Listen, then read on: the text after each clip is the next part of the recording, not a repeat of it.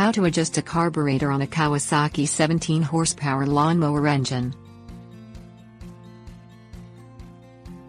The 17 horsepower Kawasaki is a single cylinder, air cooled engine.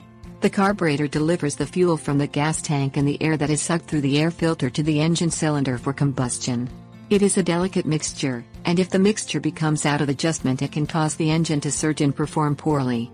When this occurs, you must adjust the throttle cable before adjusting the carburetor. The procedure takes about 15 minutes to complete. Things you'll need Phillips screwdriver, 15 64 inch drill bit, flathead screwdriver, tachometer. Set the engine on a hard, level surface. Move the throttle control from slow to fast position. The throttle handle will click into position this will ensure the throttle is in the fast position. Locate the throttle control panel on the left of the engine directly behind the carburetor. Check the alignment holes at the front of the control panel, and the throttle arm directly behind it. They must be visually aligned. Move the throttle to the choke position, and then back off the fast position. Again, the holes in the control panel and the throttle arm must be aligned. Advance the throttle to the fast position. Loosen the clamp screw that holds the throttle cable against the control panel with a screwdriver. Insert the drill bit through the aligned holes so that the throttle arm does not move during adjustment. Pull the throttle cable up and tighten down the clamp screw. Remove the drill bit and repeat the test procedure. Advance the throttle to fast and then back down to slow several times to ensure the linkage is not binding. Gently pry the black limiter cap on the adjustment screw at the front of the carburetor with a flathead screwdriver this will expose the top of the adjustment screw.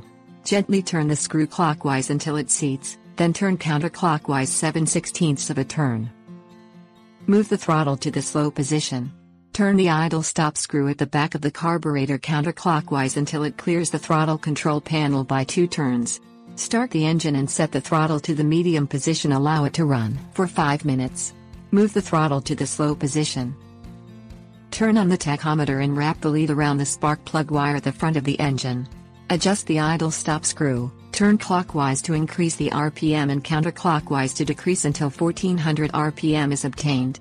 Turn the adjustment screw at the front of the carburetor clockwise until the engine RPM starts to drop, and note the position.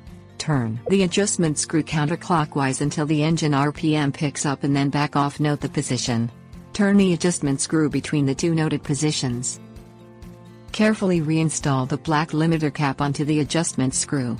Turn the adjustment screw back and forth until it reads 1450 revolutions per minute or 75 revolutions per minute. Turn the idle stop screw clockwise until the tachometer reads 1550 revolutions per minute or 100 revolutions per minute.